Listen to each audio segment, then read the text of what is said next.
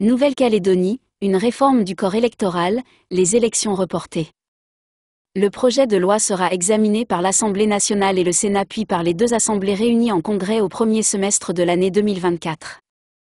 Le gouvernement a choisi de présenter un projet de loi constitutionnelle pour réformer le corps électoral de Nouvelle-Calédonie, gelé depuis 1998. Une réforme qui concerna les élections provinciales et qui, de facto, entraînera sur le Caillou un report des élections locales de mai à décembre 2024, précisent les services d'Elisabeth Borne dans un communiqué. L'éventuel dégel du corps électoral aux élections provinciales, susceptible de bousculer les équilibres politiques, est l'un des points d'achoppement. Les indépendantistes de l'Union calédonienne, UC, y sont opposés. Ce scrutin est crucial en Nouvelle-Calédonie, où les provinces détiennent une grande partie des compétences. Un avis du Conseil d'État dans les prochains jours. Après avis du Conseil d'État, le gouvernement a décidé de déposer deux projets de loi. Le premier, un projet de loi constitutionnelle, devra, selon un communiqué de Matignon, dans le respect des équilibres propres à la Nouvelle-Calédonie, définir un corps électoral restreint et conforme aux engagements internationaux de la France et aux principes démocratiques.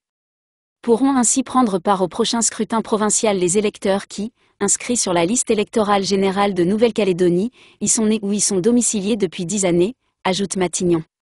Ce projet de loi constitutionnelle sera transmis pour avis au Conseil d'État dans les prochains jours, détaille le communiqué.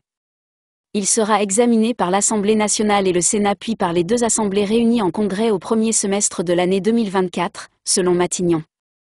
Un accord politique local nécessaire parce que le consensus politique constitue la priorité du gouvernement, cette réforme n'entrera en vigueur, après son adoption par le Congrès, qu'à défaut d'accord politique entre les parties prenantes locales conclu avant le 1er juillet 2024, préviennent les services d'Elisabeth Borne. Un second projet de loi organique devra lui entériner le report de mai au 15 décembre, au plus tard, des élections aux assemblées de province et au Congrès.